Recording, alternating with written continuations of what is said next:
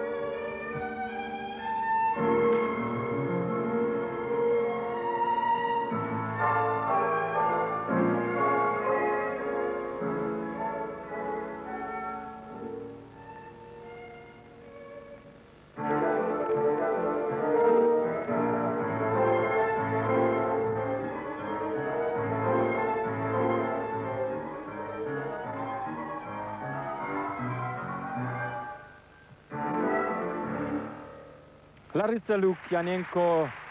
Und das macht die Sowjetunion ganz geschickt. Sie nimmt die jüngeren Leute auch mal mit zu einem solchen Wettbewerb, zu einer solchen Veranstaltung, lässt sie auftreten vor vielen tausenden Zuschauern, 7000 exakt hier in Belgien, lässt sie Erfahrungen sammeln. Und das zahlt sich später dann aus bei den großen Wettkämpfen.